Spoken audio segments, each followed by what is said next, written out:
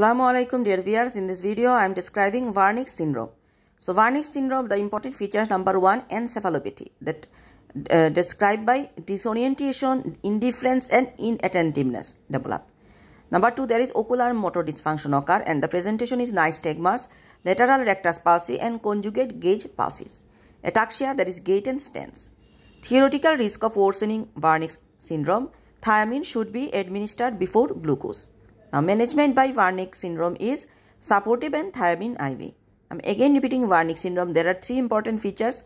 Number one is encephalopathy. Number two, ocular motor dysfunction. Number three, ataxia. And encephalopathy, the presentation are disorientation, indifference, and inattentiveness. Ocular motor dysfunction, there is nystagmus, lateral rectus palsy, conjugate gaze palsies. Ataxia, there is gait and stance.